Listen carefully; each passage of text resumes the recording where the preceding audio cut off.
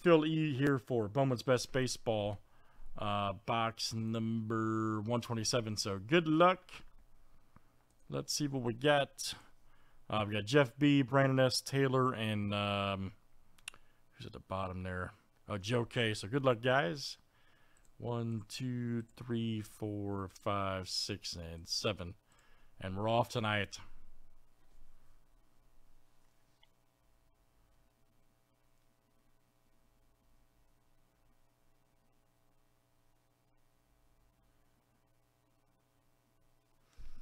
Who wants it the most tonight?